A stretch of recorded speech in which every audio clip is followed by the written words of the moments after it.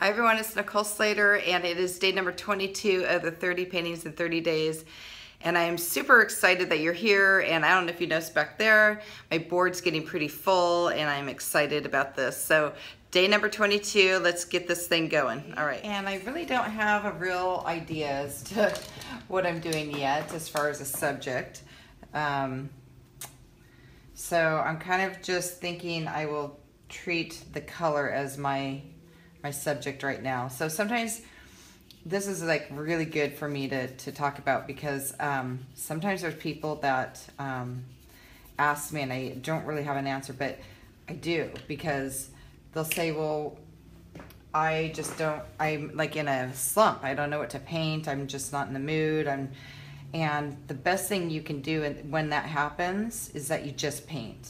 And I know that sounds crazy, but if you just have no idea as to what you want to do, sometimes just painting, just the, the, the action of painting will put you in that state of mind and it will take away those things that are blocking you from moving forward. So my advice would be to literally do just what I'm doing right now, which is just paint. And it will come to you. It might not come right away, but it will will happen.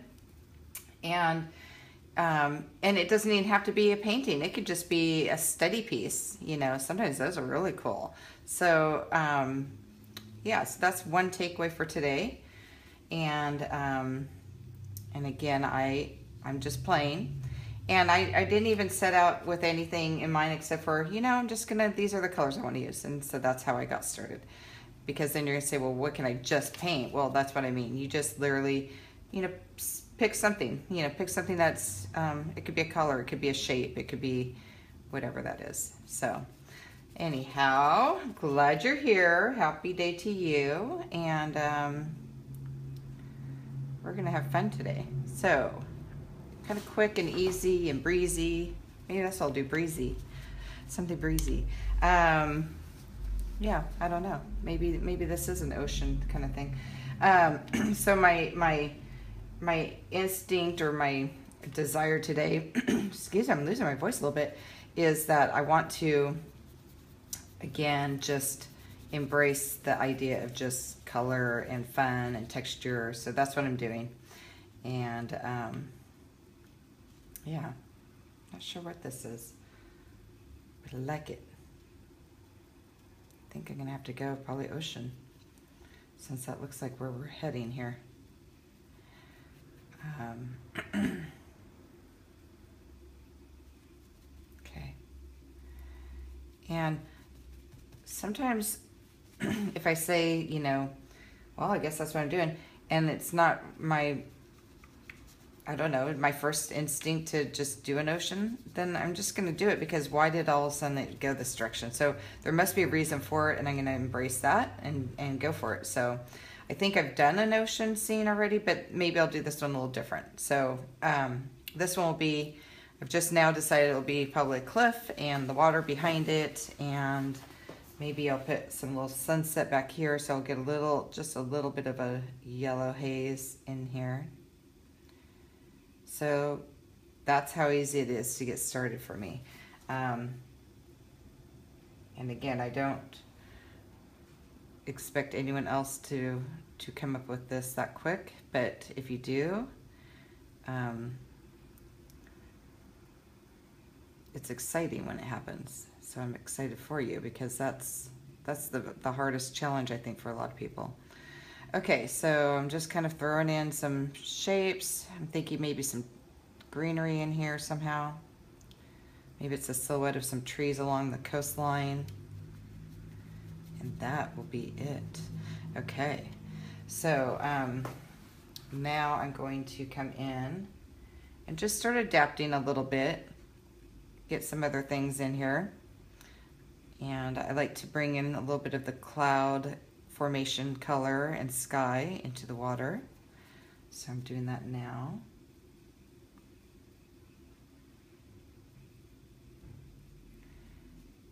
And my goal today was just to set out to make it a little bit more simple, easy breezy, and that's literally what we're doing, easy breezy here.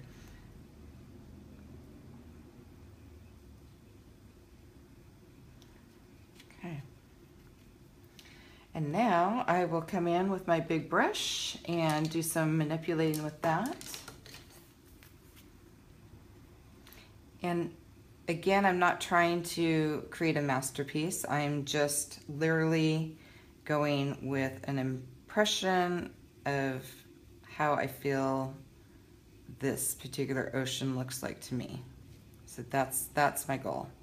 And if I can accomplish that, I'm doing really good to the viewer and to me. So.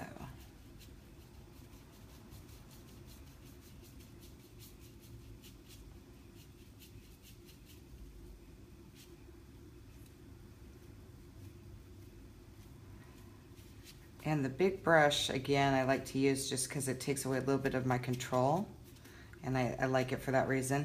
Okay, you guys, this is, this is, I'm embarrassed to say this is about it. So what I'm gonna do is just play with this one and, um, you know, get it fun and, and uh, work on these tree ideas. And what I think I'll do is come in and, and uh, put some highlights around these. So I'm gonna come in, I'm just gonna show you on, on a couple. I'll come in and put some yellow and some other things that, so it would look like the sun's kind of hitting the top edge of these tree lined areas in here. So that's what I'm gonna do next and then just scratch in some designs and, and I think that's it. So if it changes, I apologize, but I have to evaluate this off camera a little bit to really take in everything.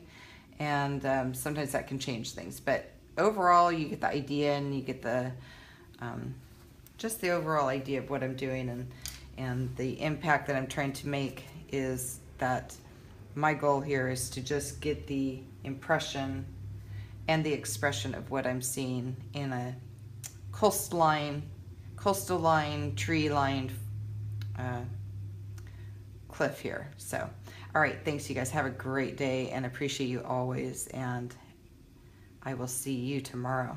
Bye.